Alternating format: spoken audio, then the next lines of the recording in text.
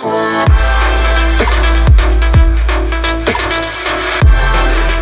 guys, welcome back to my channel. And I'm going to the gym right after this. So I'm going to show you guys when I'm going to eat for breakfast. Um, and I'm going to show you my other meals throughout the day, but I can't show you dinner because I have to go to work, but I will show you what I will be making for lunch. So stay tuned. First, for this meal, all you will need is one plate. You will need a handful of uncooked spinach, two jumbo eggs. You can use three depending on how many eggs you want in your own omelet. I don't personally love eggs so much that I would want to eat a large portion in the morning. So sometimes I eat boiled eggs or I just scramble one or two. And you will also need one tomato. The tomato is optional if you don't like tomatoes. If you like onions instead or green or red peppers, you can swap those out. But I happen to be in the mood for tomatoes today, even though I like all three of those vegetables. All right, guys, so now I've chopped up my tomato. It's going to be time to move on to the eggs here in a second. So we will just get a bowl, crack those babies open. You can throw in whatever seasonings you like. Um, I'm going to do a little bit of paprika, a tiny pinch of salt, and a little bit of pepper. So I'll meet you guys back at the stove. While my skillet is getting hot, I'm gonna um, use some of this extra virgin olive oil. Um, there, it doesn't matter which brand, but I'm gonna use that as my coating so that my eggs don't stick to the pan. Um, so again, it doesn't matter what kind of olive oil you get.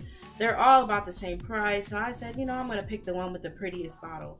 But also remember when it comes to olive oil, you do not need a lot at all. I probably even poured too, poured too much in there just now.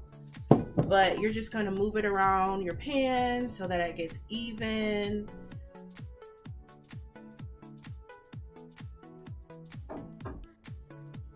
All right, so my eggs are scrambled. I'm gonna go ahead and put them in the skillet. See how that skillet is the perfect size for an omelet. So that's why you wanna use maybe a smaller skillet. You can, um, you know, tear your spinach up a lot. Told you, you really don't need too much. I'm already have too much spinach in here. That's okay, I'll just save it for the rest in the morning. Grab those tomatoes sprinkle those in there. And you just let it cook. You guys know how an omelet goes. You let that baby cook. And then you enjoy later. And I'm going to have this with a glass of water. And maybe a, a few pieces of mango on the side. Um, I don't, I try not to drink any soda, any juices. I mean, I may have orange juice every once in a while but I really try not to. So let that omelet be beautiful. I'll see you guys back in the kitchen when it's done. Breakfast, quick and easy, omelet with a couple of uh, fruits on the side and a glass of water.